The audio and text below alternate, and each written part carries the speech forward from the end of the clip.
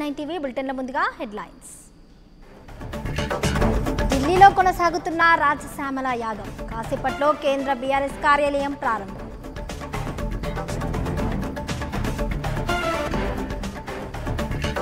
కుట్రపూరితంగా పాదయాత్రను అడ్డుకున్నారు. న్యాయ పోరాటం చేసి తీరుతామన్న షర్మిల.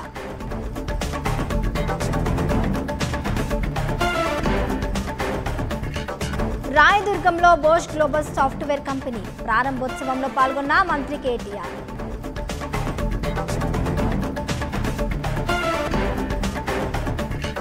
తమిళనాడు మంత్రిగా ఉదయనిధి స్టాలిన్ ప్రమాణం కొత్త బాధ్యతలు అప్పగించిన సీఎం స్టాలిన్.